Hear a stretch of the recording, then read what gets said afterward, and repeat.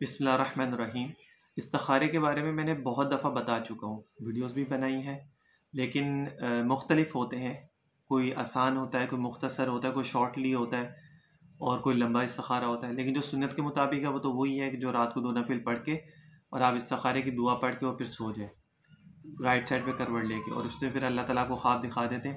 شروع کے دو تین دن کے اندر ہی ہو جاتا ہے۔ اگر نہ ہو تو سات دن کے اندر اندر ہو جاتا ہے۔ تو یہ تو سنت عمل ہے، استخارے کا حدیث میں بھی اس کا ذکر ہے۔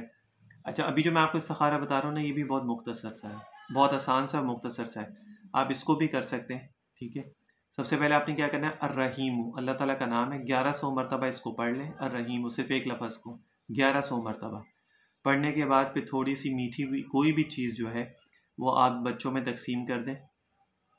یہ سمجھیں، اس کا ہدیہ ہے یہ، جو آپ نے پڑھا گیارہ سو مرتبہ، ٹھیک ہے؟ جب یہ پورا ختم ہو جائے گیارہ سو مرتبہ پھر اس کو جو ہے تھوڑی سی میٹھی چیز آپ اس کو بچوں میں تقسیم کر دیں اور اس کا ثواب جو ہے نا اولیاء اللہ کو پہنچ جائے۔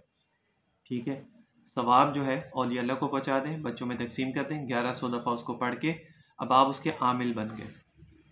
الرحیموں کے آپ عامل بن گئے۔ اب اس کے بعد کبھی بھی استخارہ کرنا ہو، ایک پیپر لیا، اس کے بعد الرحیم لکھا، لکھنے کے بعد اس کو اپنے سرحانے کے نیچے رکھ لیں، سر کے نیچے رکھ لیں۔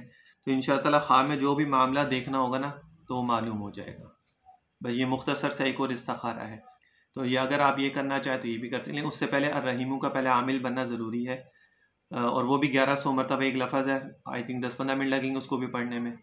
تو یہ کر کے پھر ہدیے کے طور پہ میٹھی چیز بانٹ کے اس کا ثواب اولیاء اللہ کو ضرور پہنچانا ہے۔ پھر اس کے بعد ایک پیپر کے بعد رحیم لکھیں۔ سر کے نیچے رکھ کے سو جائیں۔ اور پھر اس کے بعد جو ہے خواب میں جو بھی چیز معلوم کرنی ہوگی اللہ تعالیٰ، وہ خواب کے ذریعے آپ کو اشارتاً دے دیں گے اس کو۔ تو اس کا یہ طریقہ ہوتا ہے۔ تو اس طرح بھی آپ لوگ اس کو کر سکتے ہیں، بہت آسان ہے۔